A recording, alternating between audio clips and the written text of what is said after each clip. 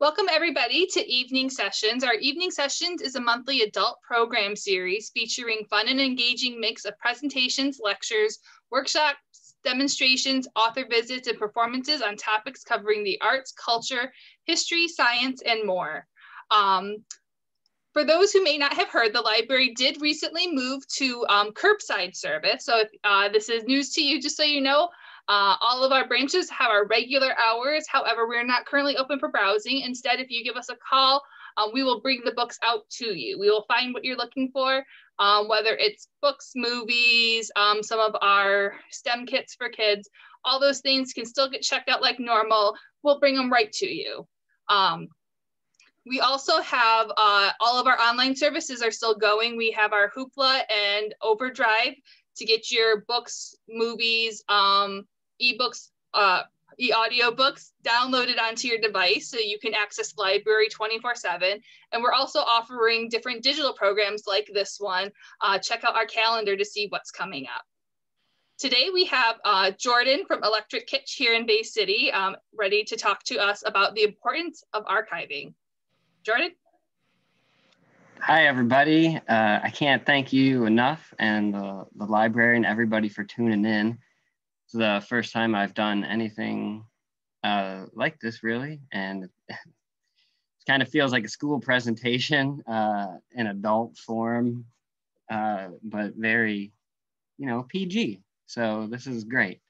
Uh, so yeah, I wanted to um, talk about first the word library uh, and and how maybe I got into some of this. Uh, but it stems from from the word liber, and it means to be free, and in all all sense of the word. And um, this is where we even get liberty from too. Uh, but this is very important um, in naming a library after being free because they wanted that sort of knowledge and wisdom to be passed on in, in an archival form and always free. Like, and the only way to uh, be be free as like and a free person, a free mind. Um, uh, this goes back to even that that know thyself. So these libraries were uh, were set up um, for that very very purpose. Um, and it goes along with with one of my favorite sayings. It's an ancient saying that says, "The lips of wisdom are closed except to the ears of understanding." And these are the same people that are telling you that knowledge is free and, and books are free. And that's why libraries are still free today and we can use them as we as we do. And um, uh, before we get into some heavy stuff, I want to since since uh, yeah, I'm Jordan Price, uh, co-owner of Electric Kitsch here. Um, and, and since we're talking about libraries and records and music, we're, we're a record store and sort, sort of like a, a, a minimal archivist of, of certain eras of like pop culture and other things. Um, but there's, there's a lot of things I can relate here to music, books, and archiving. Um, and there's a great book on this. It's called The Music Library. It was written uh, and archived by Jonny Trunk, who also runs a label. Um, but this book is about library records. And what library records are were, were catalogs that either numerous music studios, production studios had for commercials, uh, movies that may have been, uh, they may have been filming or shooting. And these these records were not for sale. They were just for the studios to use as in their archive. Um, and i had one queued up here. I don't know if we could hear it but this is a sound effects record from from major records. Um, and yeah they, they show planes and bombs and firecrackers and uh, so back for these studio archives, uh, people had to go out and record trains and record gunshots, and it was a very laborious task. Uh, um, it took a lot of time. It was all real time. Um, and, and there are a lot of famous field recording artists. And, and this is very important, say the 1950s when no one say in the western hemisphere heard a you know bird recordings over in the eastern hemisphere or i mean this this could go for any sort of numerous things music as well. So for for people to start doing this this sort of uh, this way of archiving for for libraries music production studios and maybe they didn't even know it at the time but they were creating something that you know would turn into to something like this because you know and and media music something like this where you're just constantly producing music in an archive uh, that isn't even meant to technically be discovered. I mean, people weren't digging this up until they weren't even using these things anymore. Um, and finally, someone said, Well, what happened to all this music? What happened to these people who were archiving this? And it's a it's a it's a cool book to start on, uh, really diving into some of that stuff. And I'm fortunate to have uh, some of the the library records that I that I've shown you, and there are I, there are thousands, thousands of these out there. and there's probably some that we don't even know about since they may have only printed, you know, five or six or seven and then stashed away somewhere. We hear about stuff getting thrown away um, or lost in a fire. And that's where I want to go next. Uh, everyone knows, not everyone, but the, the maybe the biggest uh, loss of a physical archive in the known world is the Library of Alexandria, where most of the physical archives were, were lost.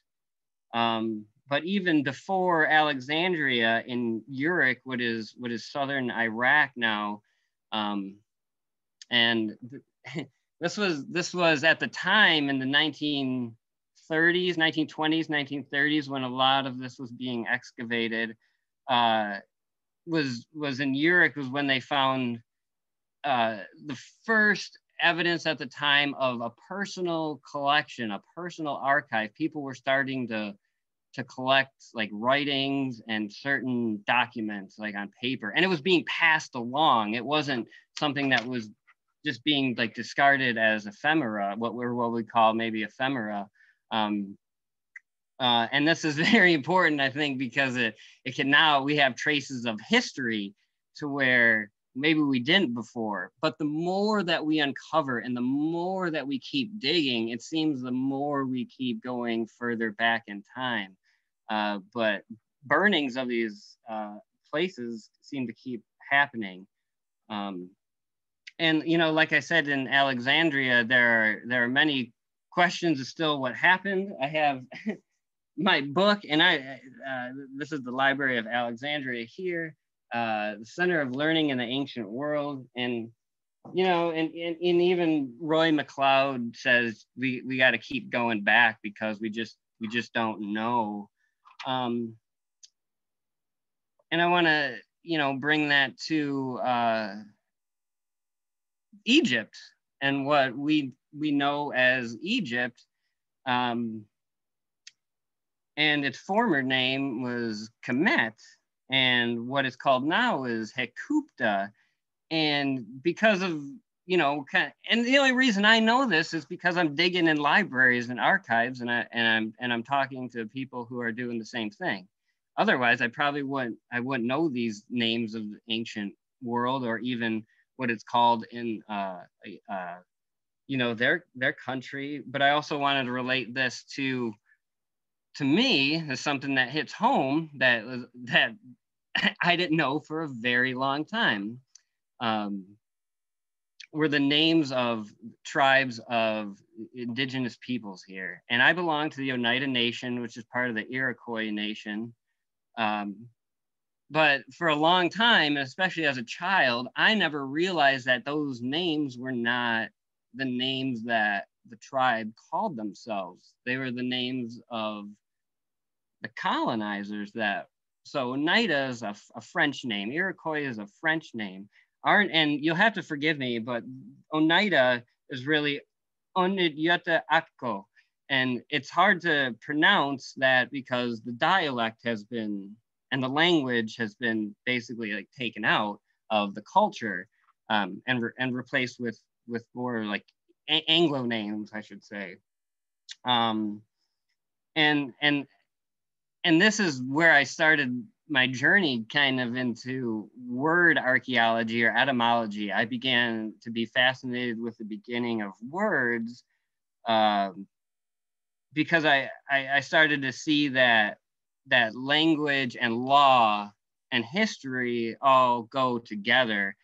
And um, if you can understand where the words came from or why they use them, I mean, you can understand anything about the law, anything about any time frame, really. Um, and, it, and it won't matter if you don't know the names of who was in power, but just what was happening and things like that. It, it becomes a really different tale of what's going on. Um, I bring up, so this leads me to the word alchemy. Um, and I'm not sure people use this word all all the time for uh, you know, and, and it does have a uh, a lot of like uses, misuses, like cooking and cooking up alchemy. But first of all, the the word literally means to come from Kemet, so we're talking Old Egypt. Now, but if you look up alchemy, um, you're talking about turning metal in or, or odd metal, like junk metal into gold and stuff. And that uh, it's really not what it means at all. Um, so to come from Kemet, come from Egypt, same with chemistry. Chemistry is Kemet, chemistry. Um, this is all to come from Egypt. And I, I do believe they're trying to tell us in the language that this stuff is older than we know, but since it's not brought up in language, you're really not reading a dictionary to understand where these words are coming from. We're really not we're really not getting it. So in this, I bring up laser disc now and I bring up alchemy and laser disc. So, uh, and if you don't know what a laser disc is, I don't have one handy, but it is a uh, 12 inch disc that store digitally stores analog uh, footage on on it and, and plays it back digitally with a laser. Um, it's like a it's a giant CD, same as a record. But there are certain things on laser discs that were never produced otherwise. And I have a strange laser disc that was put out by the Smithsonian. Maybe it was put out on VHS. But they talk about alchemy as being um, a very 15th, 16th century Anglo, like French and British, um, like that part of the world kind of thing. Um, and that's it. That I mean, that's what the Smithsonian was saying about this. Uh, that's what they put out as like, and this is what we have, but and this is what these people believed. And when you go back, when you look at that word, like I said, well, when does even Kemet and Egypt come into play? And we're talking 3,000 years ago. So the time frame that they're telling us is a heck of a lot different, and they're what they're talking about is a heck of a lot different. So I think we always have to do our research and even research what I'm saying. You know, there's there's there's so much information um, and misinformation that we find on a personal archive journey um, that you know it's not necessarily like a guided education uh, like school, but at the same time, it isn't as free as one either. Uh, and the main thing is that it's okay to be wrong sometimes um, and look at many sides and uh, you know just just to figure figure it out um, but the etymology kind of blew my mind because um, uh, language was taught to understand law so if you, you don't understand the language of the law that's ruling you you really you really have no clue what's going on. And our, I mean, our laws are pretty lenient here, but even as normal people and citizens, we really don't know too much about law. And I mean, that's obviously maybe why we have lawyers and things like that. But you can find out everything, uh, not everything, but you can find out a lot of interesting things about the language, about law if you study language. Um, and I, I do recommend books. There's a book uh, called the uh, the esoteric structure of the alphabet, and it's it's heavy. Uh, it was unlike anything I had kind of ever heard before, or but but it was a thing that I was looking for. Um, and sometimes that's that's the other thing is you kind of have to open yourself up to things that maybe would be uncomfortable or you don't even understand uh, because you never heard of it before. Um, and yeah, you just can't let that kind of thing hold you back, uh, really. So let's get into, uh, I want to talk about some of the modern burnings that have happened. Um, this might not seem so modern, but in, in the late 1500s, uh, the Florentine Codex, which was like the end all be all for the Aztec culture, was completely destroyed by Diego de Landa, who is a Franciscan monk. Um, and when I looked into this uh, a while back, the Franciscan monks were known for burning archives around the world of, of the indigenous cultures. And there, there are books on this, and I mean, they're not I haven't re- read all of them, obviously, uh, but um, just doing wor- work on uh, archives that have been burned, it's it's it's the saddest story. It, it's so hard, and that, and I think that's that's why it's been so hard to uncover some of this history. Is that these things have been constantly burned and not and and gone and destroyed um, on purpose too. Um, so that that was that was a that was kind of a big one here in the Americas, but more recently in 2008, Uni- Sony Universal had a studio in California, an archive studio, and and basically a preservation hall of they they said it was about 125 125,000 to 175,000 master recordings. And Sony Universal for for you can research this for ba- lack of better anything they own about half of the world's music that we hear. And all that is gone.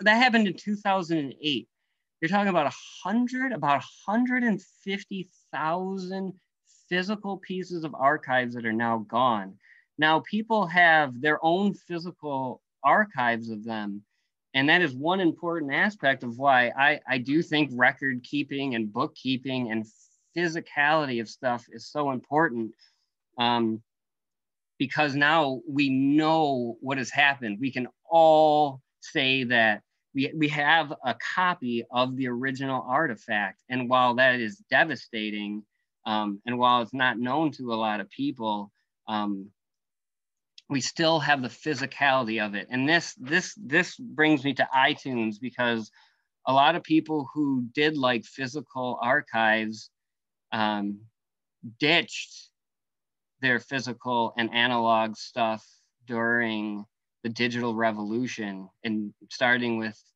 Napster downloads and and then going into iTunes and and people were excited about it. Um, you know, you didn't have to move anything anymore. Uh, it was backbreaking, and and you could have a hundred thousand songs on a tiny little disk drive. And then the thing about that too is the physical piece of media that that person had if he didn't steal it directly from a store or from an artist he, he bought it he, that person had to have purchased that thing um, where I know a lot of people don't purchase, and I, I, can't say for everybody, uh, but don't purchase the material that they're downloading online or just simply listening to because there are countless ways to listen to music for free online. And uh, the radio, we don't have to go into the radio either, uh, besides the radio and artists not getting paid for it. So that's the one thing. Now we seem to be destroying the physicality of of the artist representation of what that artist that person can get paid for. Um, we're just taking it out of thin air. And to do that physically you would have to rip that from the person's hands like take that record take that book you know and and people just take the digital medium really for granted as as this great it frees up everything. But here's what it does. So people got rid of their physical if people got rid of their physical archives if i got rid of all this physical stuff and we just trusted nothing we're we're we're, we're trusting a, a source that is like held together by nothing. It can be wiped away by a magnet. Um, then we have it then we then we're back at alexandria. And we're back with nothing because no one had an archive of it. No one had records of it. And and it's not just the libraries but it's it's the people. And I mean, this is this is why I, I, I believe it's so important to keep these things alive. Um, and in 2019, another disaster for the physical media world happened. Was, uh, a plant called the Apollo Masters plant, which makes the lacquer, the first step in plating vinyl records, burn completely to the ground. Gone. Every machine they had, every every I mean everything. Everyone was okay, thank goodness but the, the machines and, and everything there were gone and that, that was it. They owned every every piece of machinery except for uh, a company in japan that um, supplies about 15% of the world's lacquer. But this plant apollo supplied 85% of the world's lacquer to, and like i said this is the first step in making a vinyl. So if you want to make a vinyl you got to get lacquer. But now the plant's gone and there is no rebuilding this. It, the their materials were grandfathered in, so we can't rebuild in California, and and so on and so forth. So right now, the the industry is looking at ways to to revive this, and there are there are people who are looking at ways that around this because this has been about an 80 year standard um, and it's time for some innovation. Nothing has changed on this, and I think that that maybe this is part of a, a new revival of, of archiving here, as as you might say. But that that was quite devastating, um, and to have no physical things, to make physical things, um, you know, it's all one really big circle. I mean, we need things mined, and people need to deliver this and and and i mean you can see where the cycle goes and and artists need to keep creating and we need to keep keep doing this to keep things going to to you know connect these dots from the past so that we can have a, a better future and a better understanding of of our past too. Um, so i think I, if it's if we have time i just want to show some of my um, talk about some of the, the personal archives here. Uh, so back in, oh God, the 2009, uh, 2010, Black Circle Radio was started by Mitch Anderson. Uh, and I was a co-host there at CMU. Um, yeah, because it's to be 12, it's going to be 12 years this program will be on air. And it was an all vinyl radio program at CMU uh, that we did for two years there, and Mitch has now been uh, strong at it since then. But uh, this is this box here is part of our first show's archive, where we recorded everything um, that we did, all the talk sets. Um, and we were doing it the hard way because we didn't really have a great great system set up. And now Mitch, as he does his shows, just records and archives. And you, you know i mean a, a lot of podcasts and people do this but just to have this weird physical copy before um, internet archiving was such a thing is to have this physical thing is, is I don't know it's monumental. It, it, it's a it's a it's our st- starting point you know our our stone there. So um uh, I also want to bring up uh, a man named Mike Johnston, who is a teacher out at Delta, uh, music writer, historian, musician, uh, recording engineer, photographer. Um, he's done some pretty heavy and cool things, as some of our guests have. I know too. But th- this is this is and wow, and, and things like I said, things always come full circle. So Mike Johnston has a radio show, huge archivist. His radio shows on Sunday nights. Uh, if you want to listen to it on Delta, uh, free. He's been doing it forever. Um, he was able to get a hold of a few records by an, a jazz artist, avant-garde jazz artist named Sun Ra. And these records were unreleased at the time in the 1990s. And these were these these were recordings from the early 70s that just had never been pressed. They had a master recording and a test pressing, but they never went to they never went to press.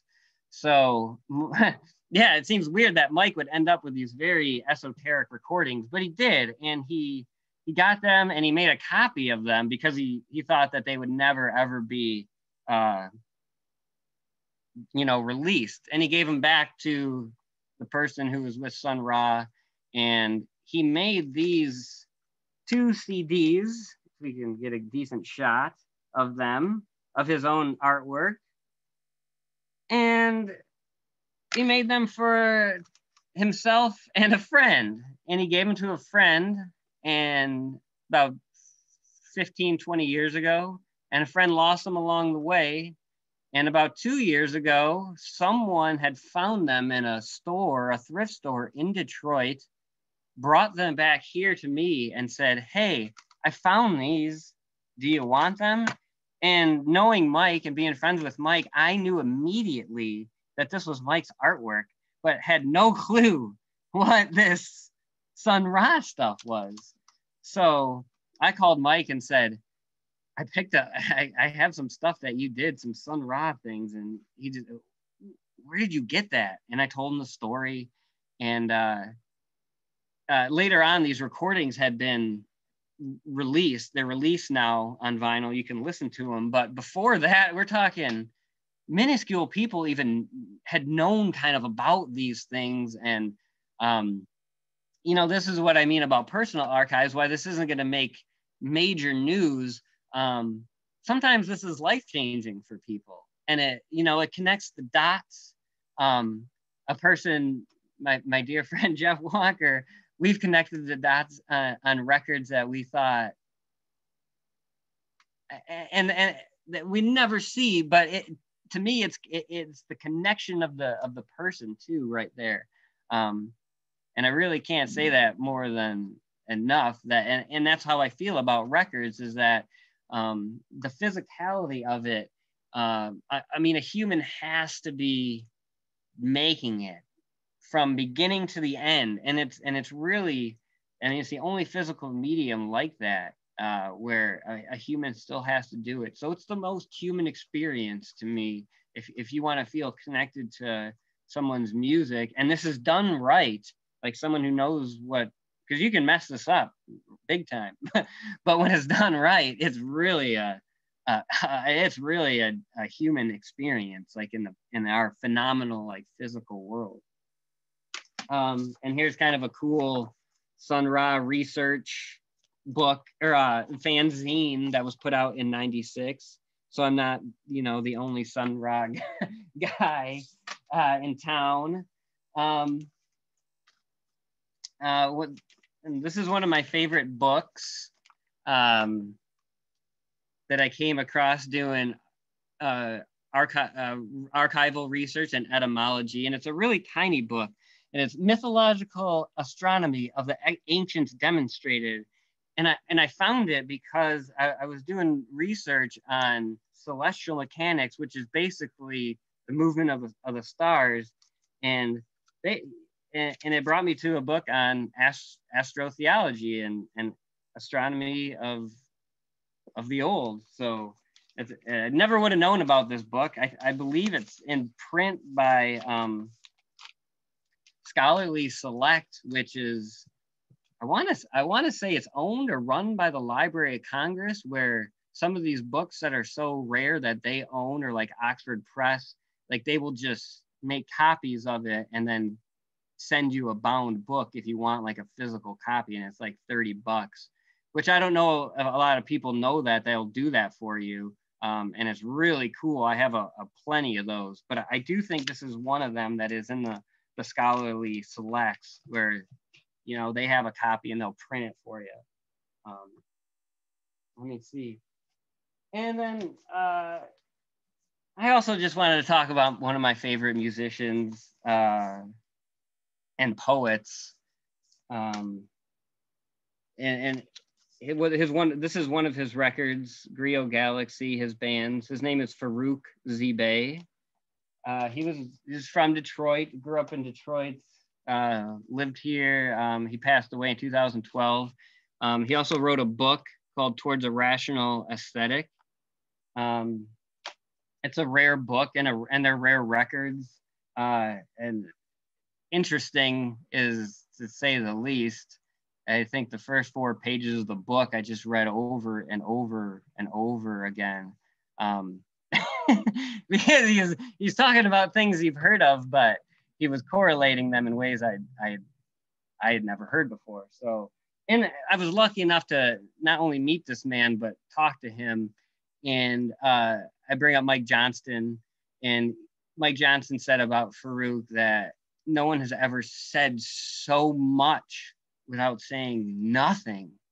And that was so true because I Faruq was just a very tall, stoic man that uh, really, you know, spoke through his music and, and words. And just looking at him, you could you could tell. And I feel very fortunate, pretty much to, to have that experience and all the experience that I've had coming across um, being what's known as a record collector. But like I said, I think it's more of a, an archive because we're archiving pieces of history that connect us, not, not just to the past, present, future, but to other people. Like we're meeting our, our, our best, like our new family members this way. We have met our new family members this way. Uh, it's, it's wild. And there's, there's other, there's people watching.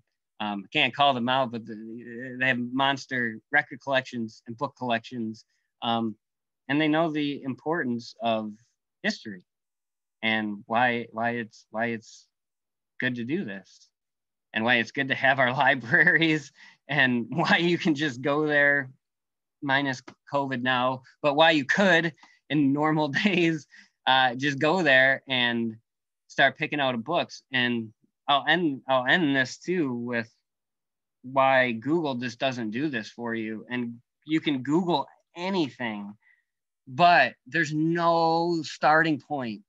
At a library, you can start anywhere you want.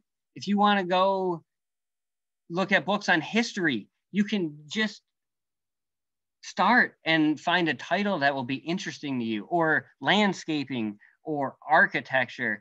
And if do it. Google this and type in like architecture books and see what comes up and see how boring it is and see what they try and sell you for the first 30 pages. That's all that comes up. It tells you nothing. You'll learn nothing. And that's anything. That's all Google is, is like how to buy stuff. Sorry.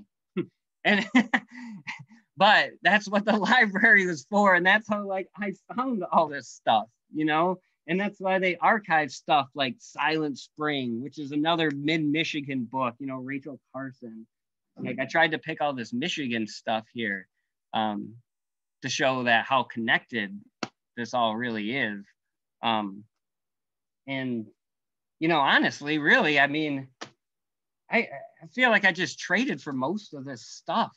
Like some of it's expensive and some of it you will realize that um, if you do want to have something that's well worth in the archive, it might have a, a wild monetary value, but that's kind of the price of like knowing that you got it and knowing that you can like always go to it where like, oh no, my computer froze.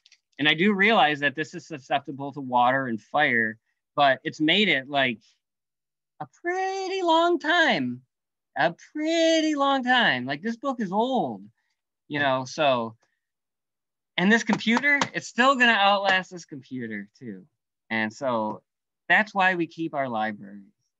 So thank you. And I I I guess I can take some questions now. Thanks everybody for listening. Uh, whether you are on Zoom or if you are on Facebook, if you put the any questions you have for Jordan into the chat, we will read them.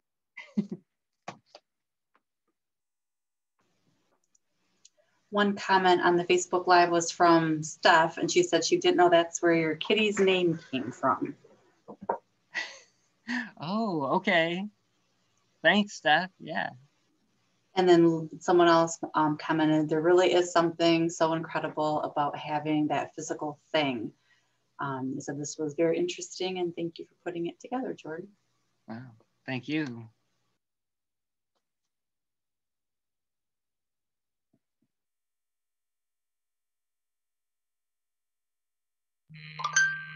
Uh, we have a question on uh, Zoom. Uh, how can individual archivists, collectors work? Mm.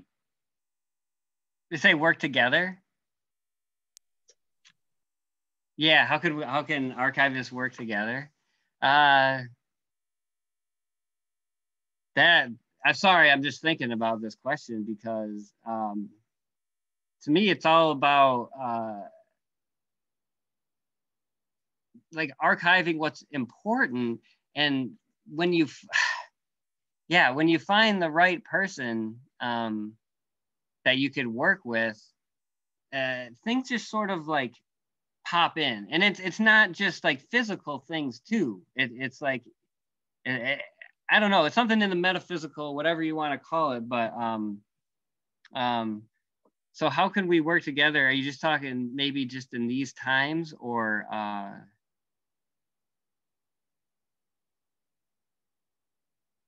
I, well, I would say in in pre-COVID times, and I think one of our other uh, listeners, Bruce, had this concept too, where you'd invite people over and open up your archive, basically, and just like a library.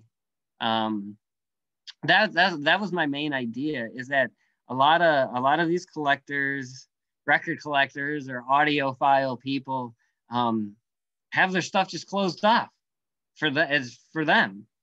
Like and, and I, I just want to share stuff. And i think that's the, the biggest thing is like if you know you can open your doors up and kind of allow this dialogue to uh, you know let people into your archive and vice versa. And people that want want to um, get into this um, i really think that might be the best way is to kind of share it. And doing so right now, I guess I don't exactly know how. Uh, this was this is a very interesting way. Like I said, I haven't done. This is my second Zoom meeting, so uh, there could be obviously people are probably doing this, you know, showing what they have. I, but um, yeah, I'm sure there could be ways to do this via Zoom and the internet.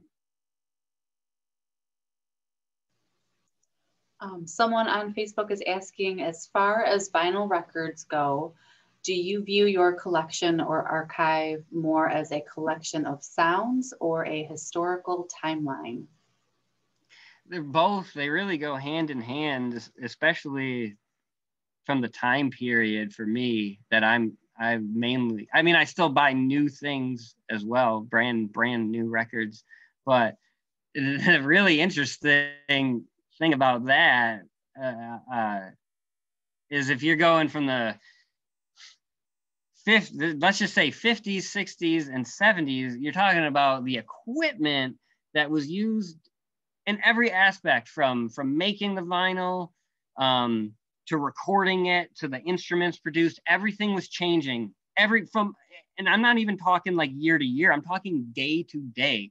There is a great website that uh, one of the um, engineers from Columbia Broadcasting, he said, eh, I can't remember the website, I have it archived somewhere, but he talks about how every day their engineers were bringing down a different microphone or a different reel to reel. Every, every day they had something different for them to try out back in like from 1958 you're talking on up all the way to the digital era there was just new things like constantly everyone was trying to innovate on like old tape on tape tape machines um, different recording equipment microphones instruments i mean the, so when you get into that aspect you're talking like how different not only the music sounded but like every single record because like the the technology was changing, the things that they were doing were changing.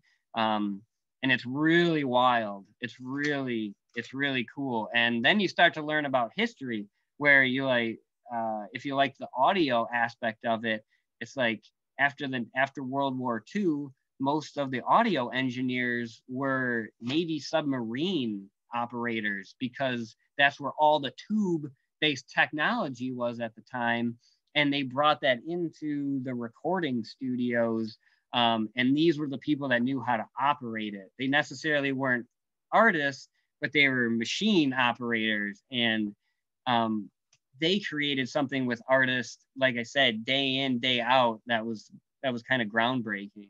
So when you when you start to get records um, from that era on up like i said it's it's really cool to learn about all the all that all the all of it.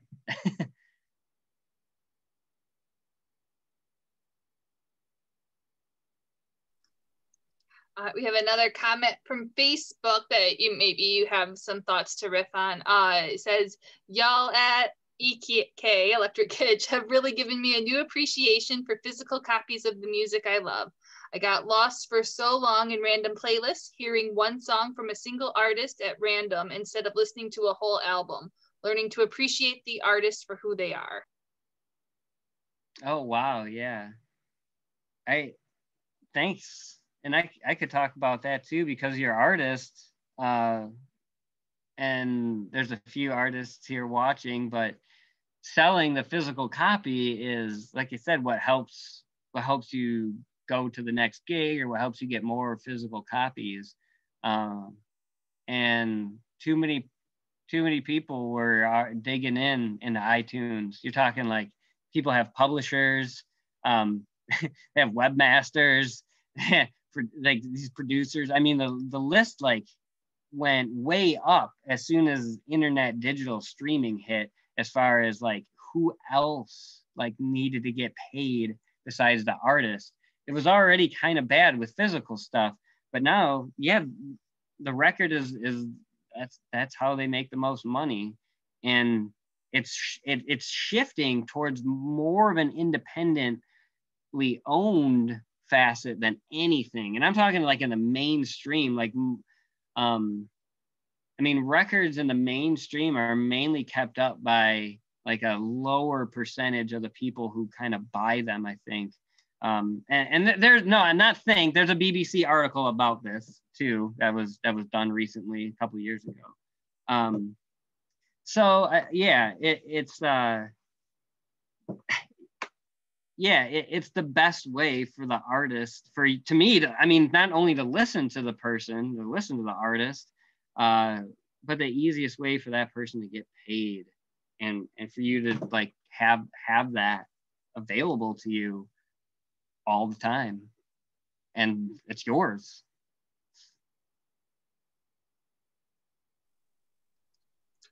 Uh, another comment from Facebook from Brendan. Uh, great words of wisdom, Jordan. I owe those in the community. I always those in the community of collectors were more likely to branch out into other activities that enrich the culture. It's a legacy of memories that are created when people celebrate art. I don't know who I'd be without tying a purpose to my ad- addiction. yeah, right. Yeah, and I don't think you have to even lie, like, oh, I, you know, lie to yourself about buying records. Like I just never do, or about finding a piece of, uh, you know, what I would call maybe historic, either records or equipment. Um, I'm always looking for things I've never seen before because what is it? Like I've never seen it. You know, I guess I got that explorer kind of mentality. Like I don't even need to go into space. I mean, it's it's pretty wild down here what you can find. uh. Well, I think that wraps up our questions. Thank you so much uh, for speaking with us today, Jordan. Um, and for those of you, if you want to find Jordan, he is in downtown Bay City at Electric Kitsch. Um, and I think a lot of people are familiar with that, but they you guys have a Facebook page, right? We do. That's Uh, our main source of traffic is the Facebook page. So if anybody wants to follow up with him, I'm sure you can find him there. Um, but thank you everyone for coming. Um, oops. and we will uh, hopefully we'll see you around the library um, but with curbside. Uh, and we'll see you at some other future programs. Thank you very much. Thank you.